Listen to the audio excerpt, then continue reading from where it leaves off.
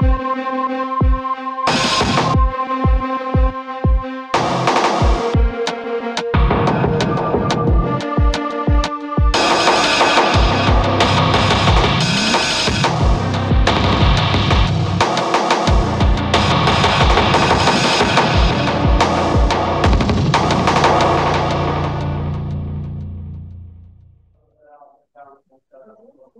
здравствуйте! Вы смотрите YouTube-канал «Живой гость». Это программа «В человеческом измерении. Неделя с Леонидом Гозманом».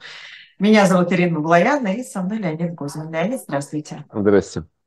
Призываю вас ставить лайки нашей трансляции, писать комментарии после эфира, непременно подписываться на «Живой гость», если еще не подписаны, подписываться на «Эхо» везде, где только можно на него подписаться, и в Телеграме, и в Ютубе, я имею в виду шорты. В общем, и донатить нам, если у вас есть такая возможность и такое желание. Ну что ж, у нас по традиции три а, части в программе. Начнем с психологии события. Психология события. Леонид, как у вас хватает нервов вообще изучать все вот эти вот форумы, которые проводят э, в России? Вы знаете, это очень забавно на самом деле. Но можно я перед форумом скажу про еще одно событие, которое как бы событие, не событие, потому что оно каждый год бывает, но тем не менее оно все-таки бывает. Да? Это 8 марта. 8 марта придумали, как известно, Клара Сеткина и Роза Люксембург, как День э, солидарности трудящихся женщин, как феминистский праздник, как борьбу, как, как День борьбы за права женщин. Вот, и я должен вам сказать, что я всегда, сколько себя помню, к этому празднику относился очень скептически. Я, так сказать, тех э, девушек и дам, которых уважал, э, с ним не поздравлял, потому что мне казалось, что это, так сказать, как-то неправильно. В общем, у меня такая правильная феминистская идеология была, видимо, э, давно как-то изначально. Наверное, я с ней родился. Вот. Мне всегда казалось, что это сексизм поздравлять с 8 марта, хотя слова такого еще э, не было, а мне уже казалось, что это что-то неправильное. Мне 8 марта напоминало день, знаете что, в советских магазинах были такие, э, где-то в углу обычно висел несколько запыленных каких-то пожелтевших бумажек, и назывался это «Уголок покупателя». Uh-huh. Вот, э, то есть, как бы так, весь магазин принадлежит продав, продавцу, понятно, продавец главный. А вот есть, а есть маленький уголок, уголок для... Маленький уголок покупателя. покупателя. Да. И вот этот самый женский праздник мне же оказался вот чем-то вот таким. Хотя, э, став постарше, я э, понял, что, в общем, на самом деле это действительно э, феминистская, в общем сказать, совершенно правильная идея, что вот как бы надо э, думать о правах э, женщин, там, чтобы не было дискриминации там, и так далее, и так далее. Но, но сейчас, сейчас, вот в эти ужасные, на самом деле, в этот ужасный период в истории нашей страны, я подумал вот что, что вот на самом деле сейчас у нас есть определенные надежды, связанные именно женщинами. Ну, потому что, понимаете, вот одно дело равенство, да, вот равенство во всем, оно должно быть во всем равенство, это правильно совершенно, да, не должно быть дискриминации там и так далее. Вот, и э, это понятно, да, и есть там, я не знаю, э, женщины, э, командиры кораблей там э, и так далее, и это нормальная, нормальная вещь, почему нет, да, вот, но есть вещи, которые женщины сделают лучше, чем мужчина. Ну, просто вот, ну, есть вещи, которые просто женщина умеет делать, а мужчина нет, там, рожать, да, вот. А, но есть, эм, ну, это как бы природная такая вещь. А вот в таком социальном плане тоже есть вещи, которые женщины делают лучше, чем мужчины. Вот движение «Путь домой», вот эти белые платочки, да. э, это не могут сделать мужчины. Вот, ну, не могут и все. От мужчин это не будет так звучать. А женщины могут и делают. Да? И вот это тот случай, не знаю, там первый или не первый в нашей истории, когда ну просто так сложилось, что от женщин очень много зависит. А больше, чем в каком смысле больше, чем от мужчин. Прямо так, вот есть задача, которую женщины могут выполнить, а мужчины нет. Это не значит, что женщины ее выполнят. Да? Может и нет. Может, ничего не получится, может, там смелости не хватит. Ну, неизвестно, да. Но определенная надежда связана именно с ними. Вот. Поэтому вот, знаете, даже 8 марта иногда приобретает какой-то особый э, смысл. Вот. А членам, тем, кто участвует в движении «Путь домой», я хотел бы пожелать удачи, стойкости, ну и как бы веры, веры в свои, э, в свои силы. Вот. Ну, так. Вы знаете, Такое я 8 марта вообще очень люблю, но он для меня, вот принято говорить, что это Международный женский день, да, а мне кажется, это просто день борьбы. И в этом смысле он день борьбы не только для женщин, но и для мужчин, которые борются за равные права для женщин. Ну, вот. конечно. Это да. такой, да, конечно, хороший, конечно. хороший праздник, э, ну, праздник, день борьбы, я бы так сказала. Ну да, но это не это самое. Это не значит, что другие дни не надо бороться за права. Это, во-первых, да, да, да, вот. Но почему бы, почему бы не сделать? Не, ну просто когда все эти сопли размазывают, э, что вы украшение нашего коллектива там и так далее. Ну, Ой, ну вот это все я тоже это, не люблю, да, потому что ненавижу. бывает коллектив, в котором мужчина украшение коллектива, э, разные коллективы бывают, зависит и от разные, И разные женщины бывают, разные женщины, и разные бывают, женщины, разные конечно, зависит от внутреннего сияния, я бы, я бы так конечно, сказала. Конечно, да. конечно. Да. Ну вот, а теперь к форуму. Да, да, давайте. Вы же хотели спросить про... Э, как у вас терпения хватает вообще все да, это да, да. посмотреть? Международный форум, нет, Всемирный форум молодежи. Молодежи Или... в Сочи. Да, ВФМ. Вообще да, этих форумов форум... какой каждый день проводят разные форумы в разных городах. Ой, вы знаете, это, это прекрасно, это прекрасно. Нам подарили праздник, понимаете? Вот, вот вы не цените, вы не цените. А это какой праздник, да? Послушайте, из 180 стран приехали молодые люди, сами по зову сердца. Вот. Я вот не знаю, сколько стран на планете, мне почему-то сказал, что их чуть меньше. Но это, в общем, не важно. Да? В общем, из 180 стран приехали, да? 55 площадок, 3000 одних актеров, 3000. Представляете, вот у этого самого, там, как его звали-то, у Клестакова 35 тысяч одних курьеров, да? А вот тут три тысячи одних актеров. Это же вообще обалдеть можно, как здорово, да? Вот значит, э, э, эти самые э, китаянка и украинка вместе пели «Катюшу». Знаете, какое счастье, да? А начальник какой-то северокорейской молодежи выступил в поддержку политики Владимира Владимировича Путина и Российской Федерации и сказал, что Северная Корея всегда будет рядом с нами. Не пугайтесь. Надеюсь, попросил российское гражданство и сказал, что переезжает? Нет, пока нет. Вот. Я вообще призываю не пугаться, потому что, Северная Корея не всегда будет рядом с нами. Может, и ее не будет. Но, э, э, тем не менее, он это сказал. Ну и потом, конечно, выступление наших начальников. Медведев выступил в сталинском френче а-ля э, Соловьев. Лавров выступил, Песков выступил. А напоследок, понимаете, вот апофеоз. Что такое апофеоз? Апофеоз – это Владимир Владимирович Путин. Причем Владимир Владимирович Путин был лично, не по э, связи, вот как мы с вами, да, а лично был дан, да. И я даже не хочу обижать профессора Соловьева, я думаю, думаю что это не двойник, Соловья. а настоящий, да. Нет, я думаю, что это настоящий.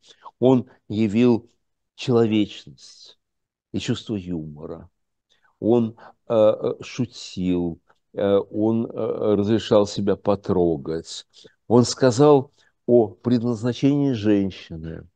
Вы, может, удивитесь, но это Лучше рожать. молчал. Это лучше рожать. Это рожать. Вы знаете, Подождите, там, а кто, это он сказал, что э, лучший подарок женщине на 8 марта – это подарить ей беременность еще одну? Что-то он такое сказал, да. Вот, значит, и, знаете, вот я вспомнил Леонид Ильич Брежнев, он тоже был достойный человек. Он, э, э, хотя, кстати, войны тоже вел. Войны тоже вел. Вот. Э, Леонид Ильич, как-то у него такие инсайты были. Один раз он сказал, что экономика должна быть экономной. Представляете, сколько, сколько ученых потом осмысливали эту глубокую мысль и писали диссертации. Да? А еще он сказал, дети – наше будущее. Вот, э, э, э, понимаете, это же... И, и главное, хрен поспоришь. Понимаете, вот, вот действительно дети наше будущее. Ну, И, слушайте, вот, это хорошо, что они так говорят. Вы помните, когда они говорили, что это а, а, ну, чуть ли не собственность государства, дети? и, правильно, и наше будущее. Вот такое Конечно. наше будущее, что дети собственность государства и разбирают автоматы. Это совершенно, это совершенно не связано. Вот, они сами, организаторы, они говорили о том, что это, они связывали это, вели, э, вели это от э, Международного форума или Всемирного форума молодежи и студентов в Москве в 1957 году. Я тот форум не помню, естественно, но вообще я как-то давно живу, и мне это, у меня вот просто перед глазами, когда смотрел на это, вставали картины этих советских мероприятий, которые все были за мир как один, все как один за мир, да, и значит против американского империализма, международного сионизма, колониализма, еще какого-то изма там и так далее, да, и все, конечно, за, все были демонстрации поддержки прогрессивной молодежи планеты, э, миролюбивой политики Советского Союза. Вот. Это так знакомо. Знаете, есть такое чудное выражение, не то чтобы тошнит, но вырвет. Вот это вот, вот, вот, вот это оно и есть. Это оно и есть. Но, я вам что скажу, это стоило смотреть. Это стоило смотреть. Знаете, они ведь часто говорят правду. Вот вообще диктаторы часто говорят правду. Мы это недооцениваем. Вот если я это рассказывал, то прервите. А, через три недели после Великой Апрельской революции в Афганистане, когда товарищ Тараки, лидер Народно-демократической партии Афганистана, сверг а, а, неправильный режим Мухаммеда Дауда, зарезав при этом Дауда и всю его семью там, и так далее, там кровавая была революция, вот, и он пришел там к власти и стал строить социализм в Афганистане. Это не очень получилось, потому что потом товарища Тараки убил товарищ Амин, потом товарища Амина расстреляли наши войска. Ну, в общем, это все как-то там не очень хорошо получилось. Но, тем не менее, вот был момент, когда товарищ Тараки всем правит, он был, естественно, тут же другом Советского Союза. И вот его спрашивают, три недели прошло, его спрашивают, э, корреспондент «Известия», я читал его интервью в «Известиях», какую роль играют в политической жизни Афганистана другие политические партии, кроме Народно-демократической партии Афганистана. И товарищ Тараки говорит, других политических партий в Афганистане нет. Понимаете, Ир, прошло три недели всего после славной революции. Уже угу. никого не осталось. Товарищ Тараки за три недели справился. Не было через три недели после революции не осталось ни одной политической партии в Афганистане. Он сказал чистую правду. Но мы же не замечали этого. Мы же не замечали. Что значит больше нет ни одной политической партии в Афганистане? Всех убили. Всех убили. Он всех убил. И он это сказал. Так вот, наши начальники тоже все говорят на самом деле. И вот выступление Лаврова, Медведева, а, Пескова даже и, конечно, Путина – это послание не этим вот клоунам, которые там сидят. Понимаете, это все не просто распил бюджета, нет. Распил бюджет, само собой. Это послание к городу и миру. И это объяснение того, какое будущее нас ждет. Они очень четко это объяснили. Нас ждет война. Нас ждет война с Западом. С Западом. Не только с Украиной. Совсем война в том виде, в котором вот сейчас ведется э, да, Украина. Да, война не закончится. Война не закончится. Они показали, Медведев показал карту. Карту ближайшего, который, карту Европы, которая настанет в ближайшем будущем. Там от Украины остался крошечный кусочек. По-моему, только Киевская область. А Остальное отходит России, а также Польше и Венгрии. Мы предлагаем им поучаствовать в разделе Украины. Россия щедрая душа. Возьмите, потом мы возьмем вас. Естественно, да? Вот. А они объясняют, что фактически они объясняют, что война совершенно неизбежна. Причем это не только... Э, да, ну Путин, кстати, знаете, что Путин сказал? Путин сказал, что воссоединение, вот ртом, воссоединение России и Украины неизбежно, сказал Путин. Он впервые сказал о подлинной своей цели этой войны. Вся Украина будет нашей. Пока сейчас этому мешают националисты, сказал Владимир Владимирович. Ну, мы же с вами понимаем, что мы этих националистов в ближайшее время всех победим. В ближайшее время. И произойдет это самое воссоединение России Украины. Причем это не просто политическая трескотня, уверяю вас. Одновременно с форумом, или там чуть раньше, в журнале «Военная мысль», есть и такой, была опубликована статья, э, ну, сочетание довольно смешное, конечно, что делать, была да. опубликована статья э, генерал-полковника Сейчас я посмотрю, как его зовут. Это я вот, опять же, не играю с телефоном, а смотрю, как зовут генерал-полковника. Начальник Академии Генерального штаба. Это вообще высокая должность, очень высокая должность, мне кажется. И это, э, ну, в общем, это человек, который не просто так, не просто так говорит. Вот. И он в этой статье уже не политическим, а вполне себе профессиональным. Вот, Зарудницкий, генерал Владимир Зарудницкий. Вот, значит, э, генерал-полковник Зарудницкий такими профессионально военными словами говорит о том же самом, о стремлении США нанести нам стратегическое поражение, сменить у нас власть, разрушить нашу территориальную целостность, ну и так далее.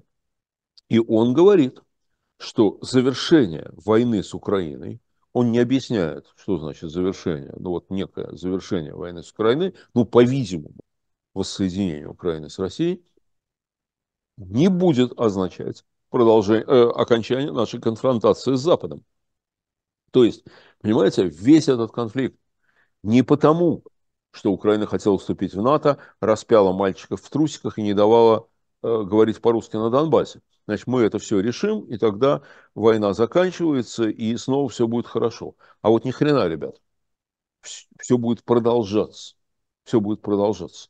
Вот. Это генерал-полковник Зарудницкий, как вы понимаете, один из высших, на самом деле, таких, ну, по крайней мере, если не оперативных руководителей, то идеологических руководителей вооруженных сил Российской Федерации, э, говорит э, понятным понятным русским языком с прямотой э, военного, э, военного человека.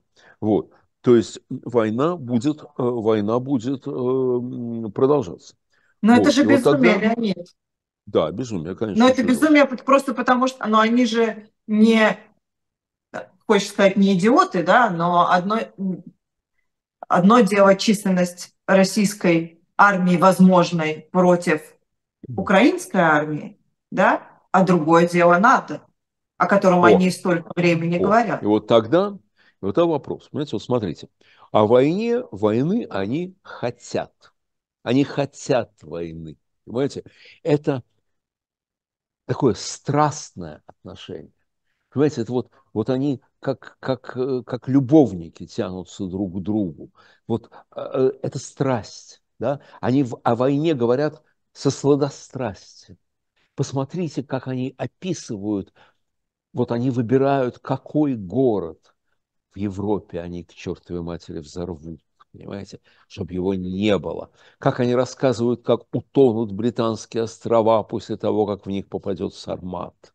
Понимаете, это, это любовь. Это любовь. Это вот, это вот, ну вот, я действительно не могу найти слово лучше, чем слово сладострастие, с которым они говорят о войне они хотят с ней, так сказать, соединиться, да, вот, а, значит, и вы знаете, вот в их отношении к войне и в отношении к Западу, в их отношении к Западу есть очень такое, очень высокая эмоциональность на самом деле. Вот, знаете, Запад им ничего не сделал на самом деле. Вот ну ничего не сделал. Ну смотрите, там э, исламские радикалы, совершали теракты на нашей территории, да, и убивали наших людей. Да. Верно ведь? Вот, значит, эм, там, э, ну, в общем, есть там китайцы захватывали Даманский там и так далее, да? Ну, хорошо, даже если брать европейскую цивилизацию. А Германия на нас нападала. Это было, это было. Но не с Америкой, не с Англией. Мы не воевали. Ну, с Англией была Крымская война, так ей уже почти 200 лет. Знаете, а в 20 столетии мы с ними не воевали, мы были союзниками. Мы были союзниками. Вместе с англо-американскими войсками мы победили Гитлера. Так, Гитлера и не кого-нибудь, да? Вот. Что им? Вот почему у них такая ненависть к э, Западу? Вот мне кажется, знаете, опять же, это очень похоже на отношения отвергнутого любовника. Вот не доставайся никому, раз так, вот раз ты, ты не полюбила меня, ты не полюбила меня. Вот они нас не полюбили, они не дали нам того, к чему мы стремились. А знаете к чему? К уважению. К уважению. Вообще наша великая страна всегда мечтала о том, чтобы ее уважали. Вот Помните, Зачем же тогда идти другим путем, делать все, чтобы тебя не уважали? А, потому что не получается, ну не получается, черт, ну не любит она меня, понимаете? Вот, ну не любит она меня, я такой хороший, она меня не любит. Вот, вот, вот его любит, а меня не любит. Ну что ж такое вообще? Да, ну ясно, что она стерва, и он негодяй тоже. Э, вот помните, был ГКЧП. ГКЧП, когда они объявили э, о себе, они издали заявление вот, э, опять же, вот вы, небось, не читали это заявление, я читал. Но я читал просто, потому что тогда все-таки я, я, был, я был там, вот, и смотрел на эти танки, стоял у Белого дома. Вот, значит, заявление читал очень внимательно. Заявление было совершенно бессмысленное. Бессмысленное, написано картонным языком, таким читать невозможно. И вдруг в этом заявлении, и в этом заявлении вдруг проскочила нотка искренности. Вы не поверите. Мне кажется, что это, знаете, как было, что, значит, э, им какие-то там спичрайтеры написали заявление, а кто-то из главных, я уж не знаю, кто там был у них на самом деле главный, там, Крючков или кто, вот, кто-то из главных своей рукой вписал полторы строчки от сердца. И стиль совершенно другой, и смысл другой. А знаете, что там было написано? Раньше, говорит, нас уважали а сейчас на нас плюют. Вот ради этого мы ну, устраиваем переворот. Но у них еще странное представление, у них уважение равно сила. Уважение – это когда красную дорожку расстилают, понимаете? И боятся. пос... И боятся, когда посол Советского Союза мог вызвать к себе премьера, понимаете? Ну или там может даже прийти к премьеру и сказать, значит так, значит так, будешь делать вот так, так и так. Все понял, вопросов нет, иди исполняй. Вот, вот для них уважение. Да? И э, э, э, по правилам, вот когда они действуют по мирным правилам, по нормальным правилам, у них не получается. Есть, понимаете, многое получается, конечно, если начать на процедуры, если считать, что все равно не поймают, да, то можно делать очень много. Сочинская Олимпиада, ну какой успех был, да? Сочинская Олимпиада, просто потрясающий, да?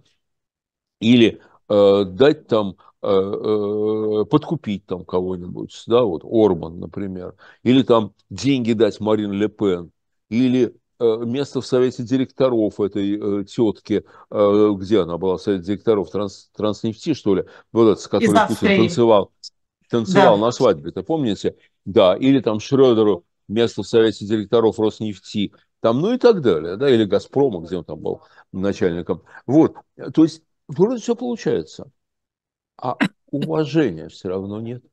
А все равно относятся как к каким-то вообще там э, дикарям, понимаете? Вот. И это, это обидно. Это очень обидно на самом деле.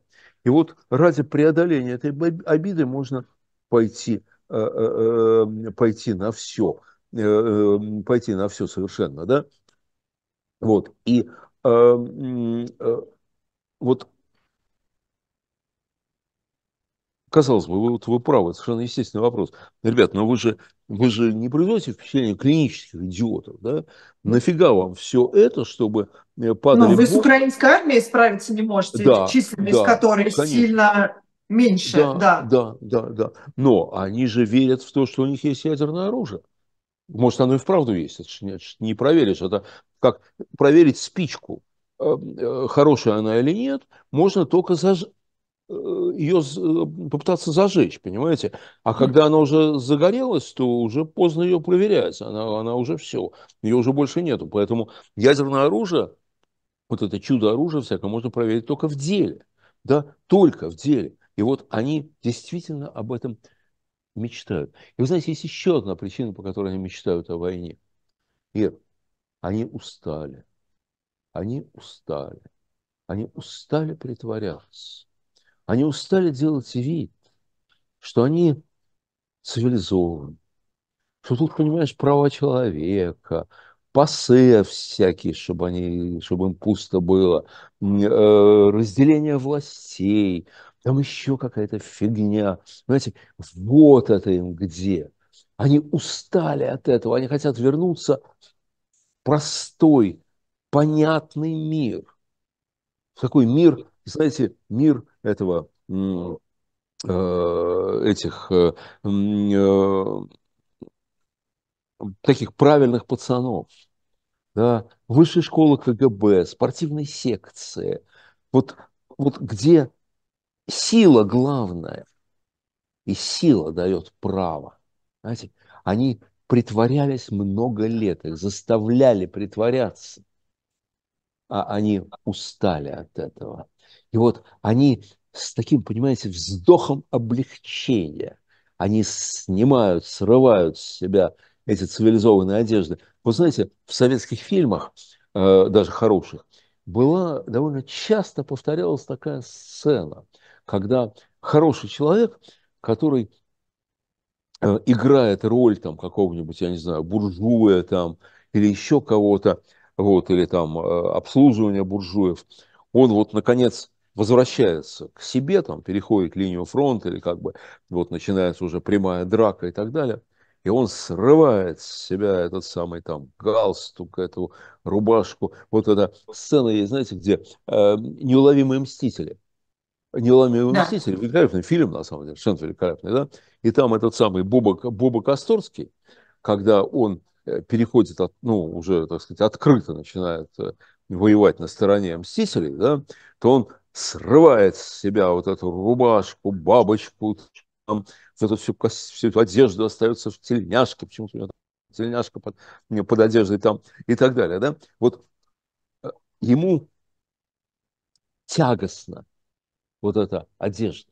Понимаете? Она тягостна для него. Да, он должен быть там в галстуке, в бабочке, там в чем-то, да, но она для него тягостна. И он ее срывает. И вот для них тоже это тягостно. И они возвращаются вот в этот простой и понятный мир, в котором сила, в котором э, не надо притворяться, которым можно сморкаться в занавеску, э, ну э, и так далее. Помните, Шариков говорит Преображенского и Барменталю, что все у вас как-то вот все не по-настоящему. Вот да пожалуйста, да там чего-то. Вот. А надо, чтобы было просто, понятно вообще, да? Вот. Вот он к этой простоте стремится, и они стремятся к этой простоте. А эта простота – это война. Это война. Это самый простой мир. Вот враги, вот свои. Э, никаких ограничений по, по действиям по отношению к врагам. Ну, никаких. Можно все делать. Понимаете, вот что хочу, то и делаю. Вот. И вообще, знаете, в отсутствии институтов, а институты у нас и были-то слабые, они их разрушили до основания, в отсутствии институтов правят эмоции между эмоцией и действием нету демпфера. Понимаете? Вот Трамп, э, Байден ненавидит Трампа, ненавидит, его трясет, но не может он его убить. Ну не может. Если бы мог, может, и убил бы. Но не может, не получается. Вот. А теперь на что? А, а, а Путин может. А Путин ненавидит. Все, привет. Вот. А, а, а вы докажете. А это не я. Все. Окей. Теперь, на что они рассчитывают? Они же понимают, конечно, они понимают, что военный потенциал НАТО превышает военный потенциал России в разы. В разы. Мы же видим, как только украинцам дается маленький кусочек современного оружия э, Запада, они тут же начинают то самолеты сбивать, то еще что-то делать. Да? Значит, вся паника из-за Таурусов. Чем? Если дадут Таурусы, они раздолбают Крымский мост, это всем понятно уже, да? Ну и так далее.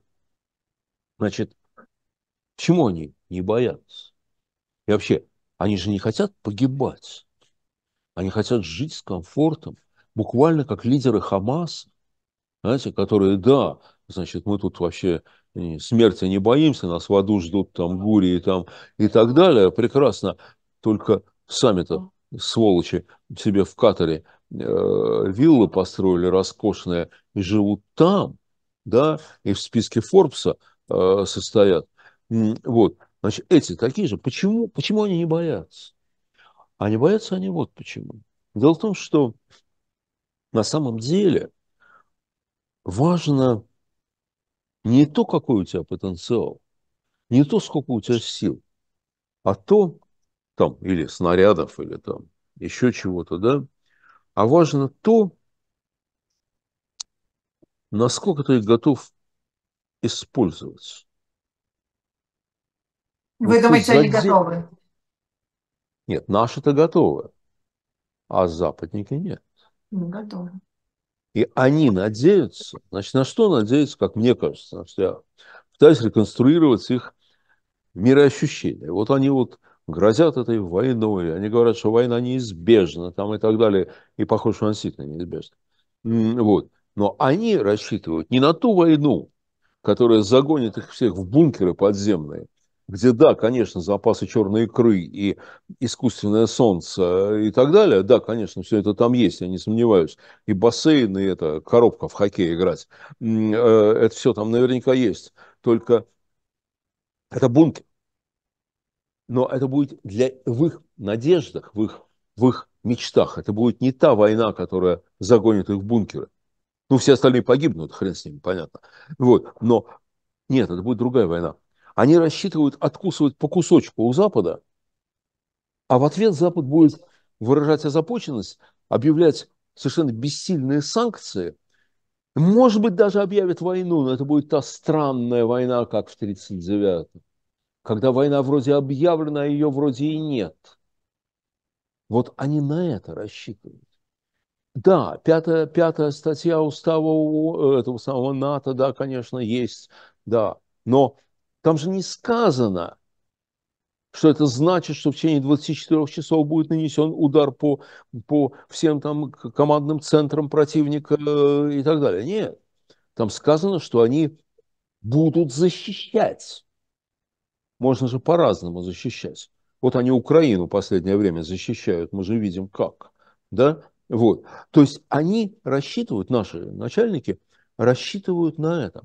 Они рассчитывают на то, что Запад не использует свои ресурсы. Знаете, а важно, сколько ты используешь, а не сколько у тебя есть.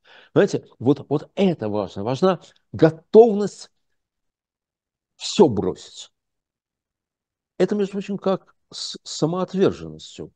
Вот в драке побеждает часто тот, кто готов бросить на весы вот этого противостояния все, включая собственную жизнь, который ничего не боится, знаете, который готов погибнуть, тогда он побеждает. Знаете, тот, кто на это противостояние, вот сегодняшнее, бросает абсолютно все, не думая о том, что будет завтра не думая о том, что будет завтра. Вот э, в, какой-то, э, в каких-то воспоминаниях о э, полярниках, о работе полярников, там было очень верное замечание. Полярник, у полярников был э, такой комбинезон специальный для ну, который позволял там работать, находиться в, в этом ужасном холоде и так далее. И вот там человек, который там работал, он говорит, что вот он, для него было очень важно, какой у тебя комбинезон. Вот он смотрел на этот комбинезон человека. Вот так, он грязный, а он белого, белого цвета был почему-то. Он, не, не знаю, почему белого, более правильно было сделать какого-то ярко-оранжевого, чтобы это было видно, да? Но, ну, не важно, вот он тогда был белого цвета. Вот. И он говорит, что для него очень важно, это грязный комбинезон или чистый. Почему? Потому что если у тебя чистый комбинезон, это значит, ты, когда работаешь, там ящики перетаскиваешь, там еще что-то делаешь, ты думаешь о том, как его сохранить, потому что потом, когда ты вернешься на большую землю, ты будешь на рыбалку в нем ездить, там еще что-то делать. Ну, очень хороший был комбинезон. Да? А или ты не думаешь об этом, а ты всего себя как бы отдаешь сегодняшней работе. Понимаете, вот это на самом деле очень важное наблюдение, очень правильно, как мне кажется, наблюдение. Ну вот. И то же, самое, то же самое в драке, то же самое в войне, там, где угодно. Да? Так вот, они считают, наши начальники считают, что Запад все время будет рассчитывать. Запад все время будет рассчитывать на жизнь, которая будет когда-нибудь после там, и так далее, и так далее. Что Запад не консолидируется. И поэтому война, в их понимании, вот та война, которой они стремятся, которой они жаждут, эта война не будет такой страшной для них. Да, солдаты будут погибать, ну, как кто их считает, этих самых солдат, да, у нас есть женщины с замечательным предназначением рожать и рожать, да, э, как объяснил нам Владимир Владимирович, а, а они, начальники, будут в безопасности, они будут вести свою нормальную жизнь, потому что Запад не пойдет на, не перейдет какие-то границы, не перейдет вообще. Вот, они Но это их надежда, что Запад не перейдет да, к Да, это их надежда, это их надежда. Причем эта надежда имеет определенное основание. Вообще демократии трудно так консолидироваться, как способна консолидироваться диктатура. Знаете, трудно. Демократии так консолидируются только в условиях смертельной угрозы. А иначе нет. А иначе начинаются там игры всякие там и так далее. Ну, потому что демократия это такая э, множественная субъектность. Множественная. Каждый человек субъектен, каждая группа субъектна там и так далее. Соответственно, у них противоречия, они там пытаются рыбку ловить в мутной воде. Там, ну, естественно, вполне, да, вполне естественно. Вот. И только когда демократии понимают, что это действительно вопрос жизни. Вот тогда они консолидируются. Тогда появляется Черчилль, который говорит, я вам ничего не обещаю, кроме пота и крови. Я вам ничего не обещаю. И вот тогда нация консолидируется. Тогда Британия начинает вдруг производить оружие, понимаете? Тогда они начинают ре, реально, по-настоящему воевать. Да? Тогда э, наследная принцесса э, возит Студебекер э, скорой помощи, там, ну и так далее. Да? Но для этого нужно осознать вот эту страшную угрозу. Чемберлен ее не осознавал. Чемберлен считал, что можно откупиться, можно дать Гитлеру судеты, да пусть подавится этими судетами. Ребята, нам-то с, с вами, британцам, но нам не все ли равно, кому принадлежит этот кусок земли? Нам же все равно. Давайте мы таким образом купим мир. И он купил мир таким образом. когда вернулся из Мюнхена, он сказал, я привез вам мир. Да. Привез войну. Да? Вот. А потом стало понятно, что нет, нельзя купиться. И тогда они консолидировались. Вот Путин рассчитывает, что они не поймут угрозы. И действительно, очень многие считают, что у той экзистенциальной угрозы миру, которую мы с вами чувствуем, нету. И, кстати, одно из оснований считать, что нет этой угрозы, это то, что армия Владимира Путина завязла в Украине завязан, да, инициатива, инициатива, инициатива. Да, конечно, это правда. Последние месяцы у российских вооруженных сил это время, за эти месяцы, положив огромное число людей, они взяли территорию меньше, чем подмосковные Химки. Меньше. Понимаете? То есть они завязли там. И вот некоторые люди на Западе говорят, да какая угроза? Нет никакой угрозы. Посмотрите, он ничего не может. Он ну, не некоторые может. говорят, что нужно свою армию создавать. Поэтому... Вот. Это совсем другое. Это совсем другое. Кто-то понимает, кто-то понимает, а кто-то не понимает. Да? Кто-то, понимая угрозу и видя процессы турбулентности в Соединенных Штатах, говорит о необходимости создания европейской армии. Вот. Кто-то, понимая угрозу и видя, что американцы вообще непонятно чем заняты сейчас, пытается заместить помощь Соединенных Штатов европейской помощью. Да? Но не все понимают. И вот Путин рассчитывает, что они угрозу не поймут и не консолидируются. А может, поймут. Вот это совершенно неизвестно. Просто Потому хочу что напомнить, Да, хочу напомнить, что когда они в начале Первой, Второй мировой войны поняли уровень угрозы, они консолидировались, и чем-то война закончилась, известно. Может быть, консолидироваться сейчас, но мы этого не знаем. Мы этого не знаем. Вот, поэтому не так они безумны, к сожалению. То есть они безумны, но они безумные. Несколько иначе. Они безумные. Но да. деятельные, я бы так сказала. Да. И они очень хотят войны. И говорят об этом открыто. А мы не хотим слушать. А мы смеемся над их форумами. Да, смеяться надо. Но не видеть, не слышать того, что они говорят, неправильно, мне кажется. Вот так. Борьба со злом а, такая, знаете, борьба, знаете, есть такая картинка у меня любимая, анимационная, а, ее как э, гифки отправляют друг другу в сообщениях, вот так вот держит маленького котенка, а он, э, значит, всеми лапами бьется. Вот у меня примерно такое ощущение от предстоящего электорального а, мероприятия, которое будет э, в следующем То есть вы себя этим котенком видите? Ну, что мы как-то, вот знаете, что-то там пытаемся, да, что-то делать, а будто бы никто этого даже не замечает. Но это совсем не значит, что делать ничего не надо. Наоборот, Нет, я считаю, что значит. делать, конечно же, конечно, надо. Через неделю а, хотя там три дня голосования теперь у нас, но через неделю, а, значит, э, и акция по день против Путина, и вообще я думаю, что многие именно в последний день пойдут голосовать. А, я лично пойду голосовать в Берлине, я, э, значит, э, собираюсь это сделать, даже на всякий случай отправила через э, госуслуги запрос на то, чтобы мы, мне поменяли, хотя это не, не обязательно делать, можно просто прийти с паспортом, но все равно.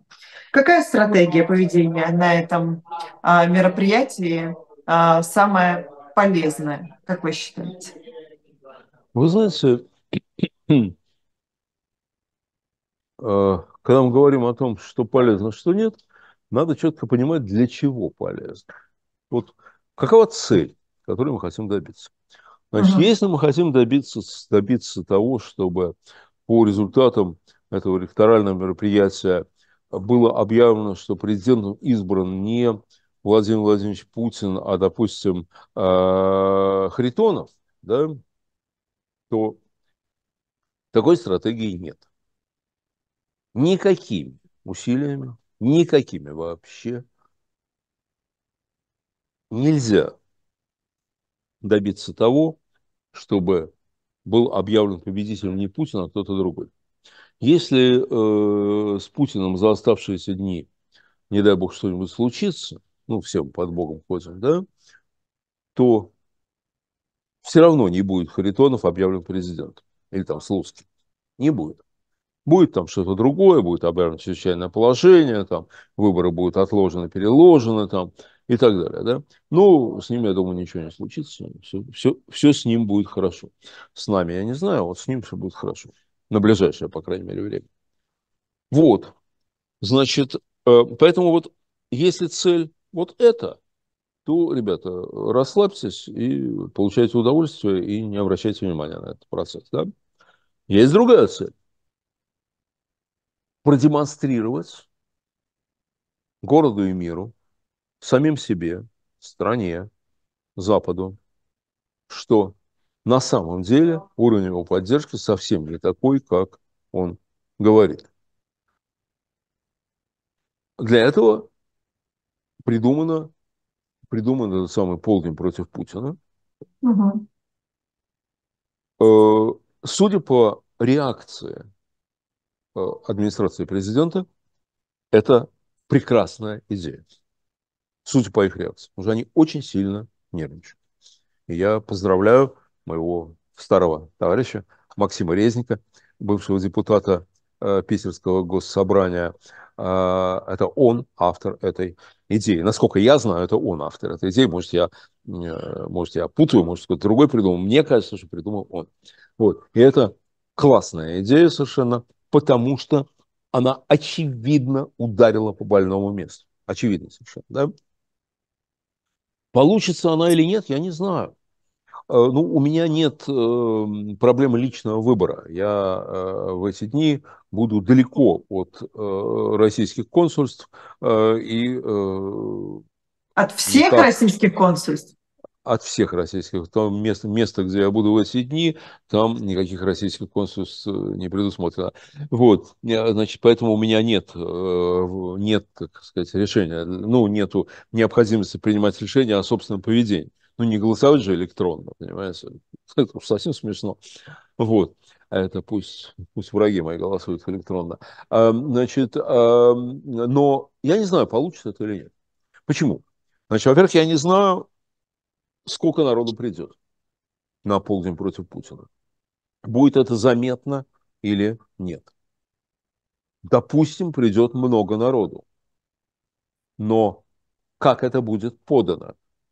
Ведь Понимаете, в чем дело? Э, Первый канал может снять эту очередь и сказать, посмотрите, как люди, конечно, как люди рвутся проголосовать за Владимира Владимировича. Слушайте, какая очередь? Ни хрена себе. Да? Вот вы показывали очереди за Надежду. Да ерунда это все. Вот очереди за Путина. И что?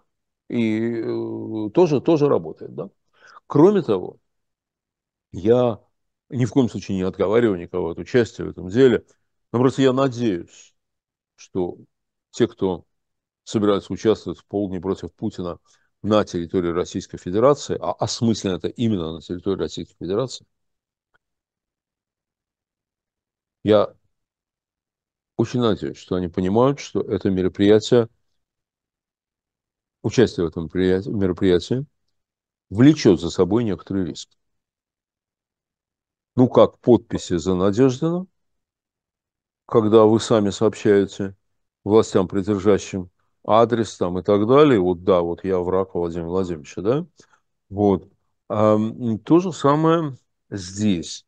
Я не думаю, что они там прям винтили всех, кто придет в полдень, маловероятно, но то, что там будет до черта э, ребят в штатском, э, то, что они будут фотографировать там и так далее, это я не сомневаюсь. Повторяю, это не значит, что не надо ходить. Это значит, что надо осознавать, куда ты идешь. Вот ни в коем случае нельзя, понимаете, единственное, что нельзя сделать, нельзя думать, что это безопасно, когда оно опасно. Вот, вот, вот этого нельзя. Да? Определенная угроза есть. Она не очень большая. Она не очень большая. Я думаю, что э, расписываться за Надеждина было большим риском, чем прийти в полдень против Путина. Мне так кажется, да? да. Но этот риск не нулевой. И нельзя его не учитывать. Его надо учитывать, да? Вот, значит, вот можно попробовать таким образом испортить настроение Путину, показать, что на самом деле за ним не столько и так далее. Это вот если такая цель. Но есть, может быть, еще и третья цель, Ир, которая мне кажется, на самом деле, самая важная. Вот помните, эта песня «Что же будет с Родиной и с нами?» А по-разному будет с Родиной и с нами. С Родиной в ближайшее время будет все хреново. Все хреново. Ну, представьте себе, поставьте себя на место интеллигентного, разумного немца где-нибудь в 1942 году. Но он не мог не понимать, что с Родиной будет хуже и хуже в ближайшие годы. Что перспективы Германии тяжелейшие на самом деле. Вот нормальный немец должен был это понимать. Мы с вами по поводу своей страны это тоже понимаем. Да? С Родиной будет хреново, к сожалению. Да? Надолго хреново. У Родины есть, есть шансы, есть, но они такие далекие. Это очень дальний путь. А вот что будет с нами, это немножко другая вещь. Потому что, понимаете, в чем дело? Ну, то есть тоже, конечно, в основном хреново, но тем не менее. Одна из, одна из таких деструктивных, патогенных вещей этих выборов состоит в том, что это унижение. Это унижение. Ты приходишь, а тебе говорят, ты выбираешь президента Российской Федерации. Филко, ты знаешь, что его не выбираешь. Да? Но когда ты идешь, берешь бюллетень, идешь в кабинку, ставишь крестик, даже если ставишь там 2-3 крестика и пишешь матерное слово, ты же знаешь, что ты не выбираешь президента Российской Федерации. Ты же знаешь, что единственный человек, у которого есть право голоса в России, уже проголосовал. Вот. Ты все это знаешь. И тем не менее, ты как будто бы делаешь вид, что вот да, вот ты играешь в эту игру и так далее. Да? Это ужасно, это унизительно. Это унизительно. Вы знаете, я помню первый раз я попал на а может даже и последний, я потом, по-моему, уже не ходил, хотя тогда вот это действительно записывалось, кто не пришел, на советские выборы. Uh-huh. Я пошел на эти советские выборы, и мне дают эту самую штучку, и даже кабинок нету, и я должен вот э, поставить, что да, вот я за них, на всех, опустить это куда-то. Тогда не было этих сканеров, просто в урну. Ну, они заставляют меня играть свою игру. Вот не надо играть в, в их игру. Вы знаете, был такой пошлый, отвратительный анекдот, что если вас, ну, как якобы там какая-то инструкция, что если вас насилуют, расслабьтесь и постарайтесь получить удовольствие. Вот один умный человек сказал, вот это то, чего нельзя делать никогда – даже если вы попали в эту ужасную ситуацию насилия, да, не старайтесь получать удовольствие. Потому что если вы стараетесь получать удовольствие, то вы как бы вместе с ним, вы вместе с насильником, вы как бы одно дело делаете, да? Вот не надо получать удовольствие.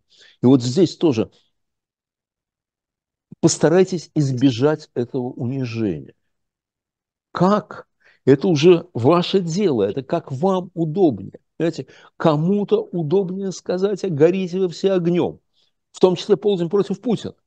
Я не пойду никуда. Я буду заниматься своими делами, я буду лежать на диване. Вот. Я буду там э, э, детектив читать. Я, я водки выпью. Я не пойду к вам. Да? Если тебе это удобнее, хорошо если ты не будешь чувствовать унижение от этого, потому что режим стоит на унижении, он каждому из нас говорит, в том числе этими выборами, ты пыль под ногами, ты никто, ты никто. Так вот, сделайте так, чтобы было не так. Если же вам удобнее пойти на полдень против Путина, пойдите. Если вам удобнее зайти потом на избирательный участок, испортить бюллетень, написать матерное слово, пойдите и напишите матерное слово. Сделайте так, как вы хотите думайте о себе. Думайте о себе. Понимаете, вот это дурная традиция. Вот всегда думать о большом деле, всегда думать о том, как это будет там в стране, миру, человечеству там и так далее. Нет, об этом надо думать, конечно, но о себе тоже надо думать. Вот постарайтесь вести себя так, чтобы вы не чувствовали, что вас использовали. Понимаете? Вот не не участвуйте в их игре. Не участвовать в игре можно по-разному. И пойти на полдень против Путина, и не пойти на полдень против Путина. И пойти голосовать, и не пойти голосовать. По-разному можно не участвовать. Не участвовать не значит, что я призываю вас сидеть дома. Нет, конечно. Как хотите. Но сделайте так, чтобы у вас не было ощущения, что вы в их игре участвовали. Вот, вот по-моему, это, э, эта стратегия для каждого, для каждого э, своя. Если бы я был в России, Э, я бы, я бы сделал лучше. Я бы пошел на полдень против Путина. Я. Но это не значит, что другие должны это делать. я бы пошел на полдень против Путина, и я бы пошел в участок, я бы взял бюллетень, я бы испортил бюллетень. Ну, я не знаю, стал ли бы что-нибудь писать или нет, потому что в этом есть некоторая такая для меня такая детскость, потому что все равно никто не прочтет, всем плевать. А может, и написал, не знаю. Вот. Но точно бы испортил бюллетень. Вот. Но это я. Ну, слушайте, тут я с вами согласна и э, могу хм. только посоветовать людям, которые собираются поступить так же, как и я, э, в полдень пойти и сделать с бюллетенем что-нибудь э, что не диктует нам их правила. А послушайте Дмитрия Орешкина, он был у меня в эфире на этой неделе, он рассказывает, как правильно э, нужно поступать с бюллетенью. Прямо вот, чтобы ее приняли. Давайте это повторим, но... давайте это повторим. Должно быть, должны быть крестики больше, чем в одном квадрате. Да. Если вы да. напишете, даже если вы отметите все четыре квадратика, то бюллетень недействителен. Если вы проголосуете за Харитонова и Слуцкого, бюллетень недействителен. Вот и все. А если вы просто его перечеркнете и напишите, э, идите вот туда, Навальный да? или что, что-то, то да, это да. засчитают за кандидата, Бюллетень бесчувственный. Там да. поставят крестик напротив Путина и скажут, да. что вы проголосовали за Владимира да. Владимировича. Да. Ира, мы, Поэтому кажется, не успели с вами последнюю тему. Не успели совсем, но ничего Какая страшного. Жалость. Это такая тема еще в ближайшие у нас недели мы да. ее сможем взять. Давайте а мы ее вот анонсируем. То, что... Это то, что происходит в Конгрессе Соединенных Штатов. Абсолютно. И если вы э, удивитесь, почему нас так сильно интересует, что происходит в Конгрессе э, Соединенных Штатов, э, выборы, которые будут э, осенью в Соединенных Штатах, влияют, к сожалению, на нас с вами тоже очень сильно. Вот. Это да. А... И вы знаете, еще вот, а можно одну, одну секунду? Давайте. Вот, вот все хреново. Мы с вами вот говорим вообще про это плохо, это плохо, это плохо. Вот. Но есть то, что хорошо. Есть живые люди. Есть живые люди. Эти живые люди продолжают нести цветы к мемориалам э, Алексея Анатольевича Навального. Вот. Эти живые люди активно обсуждают, как им себя вести, чтобы нанести максимальный ущерб тому, кого они считают врагом своего Отечества, а именно Владимиру Владимировичу Путину. Да? Э, эти живые люди э, не опускают рук. Понимаете, и вот Получается, что они не убили еще наш народ. И, надеюсь, и не убьют. А, вот. А, не получается у них. Поэтому мы еще, мы еще живы и не теряйте надежды. Мы еще поборемся. Да. Спасибо большое. В человеческом измерении недели с Леонидом Гозманом. Меня зовут Ирина Баблоян. Встретимся с вами в следующее воскресенье э, в день электорального мероприятия. Э, инструкцию мы После вам... полдня. После, После полдня. После да. полдня. Пока.